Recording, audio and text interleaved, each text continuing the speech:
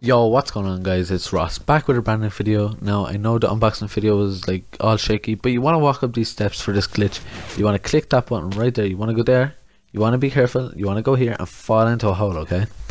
Now this hole is hard to get out of the map.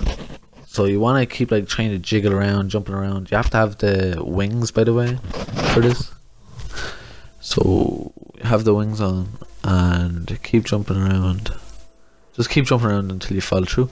But this glitch is not very much to it, but it's actually pretty cool where you can get under the map, but you can't like go miles out of the way or anything. And there's a barrier as well. I don't know why they did that. Maybe this is an Easter egg or something. But look, then you go like that, and then you're here. Like it's cool, okay? And then you can like fly away. But there's a barrier here as you can see. But you can fly. You just double tap and fly, and it's pretty cool. I'm gonna go show you something cool now.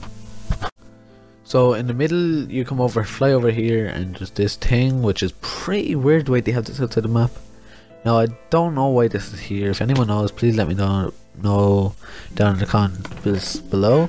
And the there's nothing in the chest, so it's creepy. So I decided to put these in the chest. Uh, my armor and CD, but there's not really much you can do, so I don't know why you'd go out here. But it is pretty cool for a video, so I made the video. So let's see how far we can fly out anyway. So I don't, I don't think it's far anyway.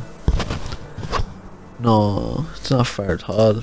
Barriers, stupid barriers are there. But this is actually pretty cool glitch. You can even see through the slime there. That's the old place, the old lobby. And if you like the video, please leave a like and subscribe if you're new. Support me on this video so I'll know to do more glitches.